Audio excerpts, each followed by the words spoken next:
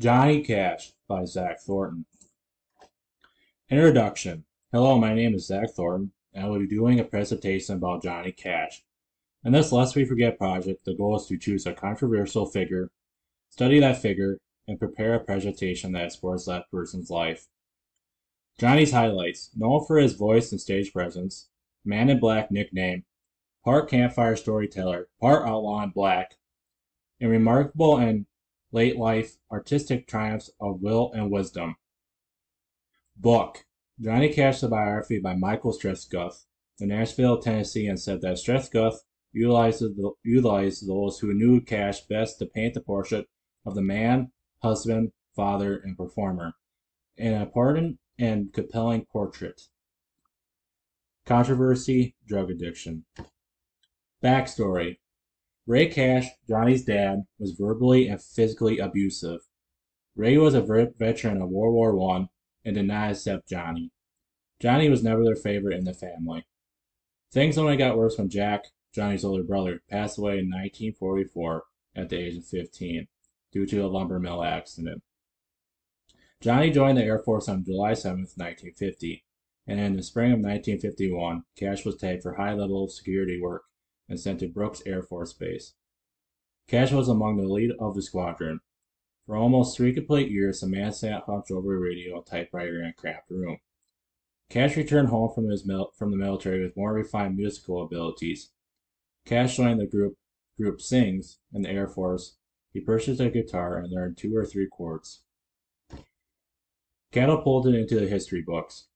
The military gave Johnny more confidence in his musical identity he got together with Luther Perkins and Marshall Grant, two mechanics employed by automobile sales company at 309 Union Avenue, Streissguth, page 52, who worked with Roy Cash, who introduced them to Johnny in 1954.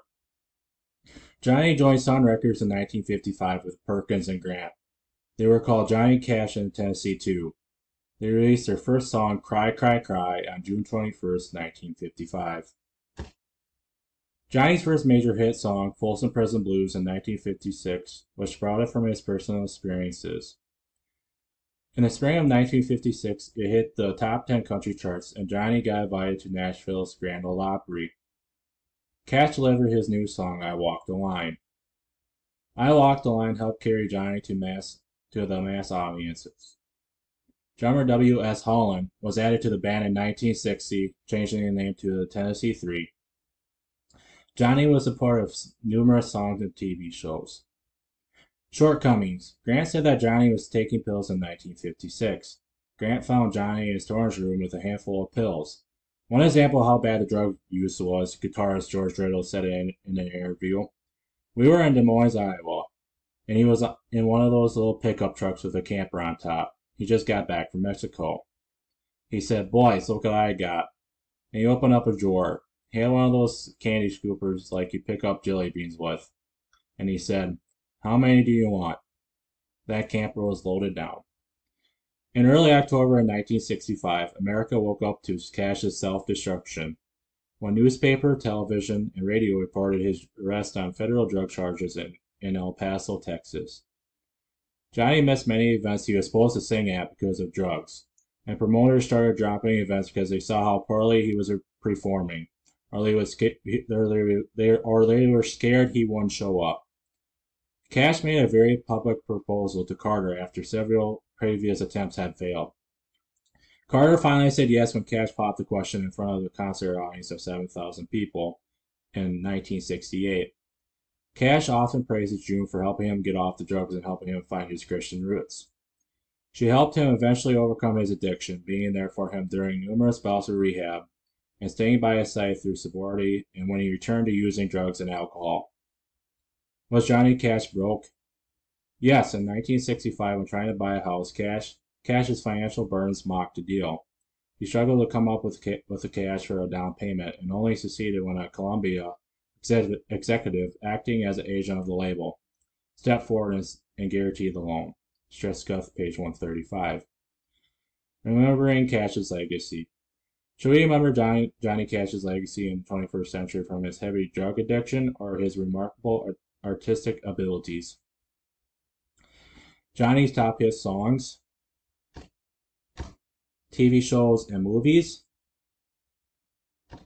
Johnny's Grammy Awards he won. Remembering Cash's legacy by music. Johnny got the rare honor of being inducted into the Country, Rock and Roll, and Gospel Music Hall of Fame. Johnny produced 91 albums and 170 singles.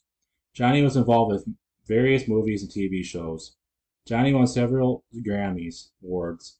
Cash came back in 1993 after 20 years of silence and ended his career in 2003. On September 12, 2003, he passed away, four months after June passed away. Citation This book was packed full of information, and I got all my information from the book, but did some additional research to confirm the accuracy of the information. Thank you for watching.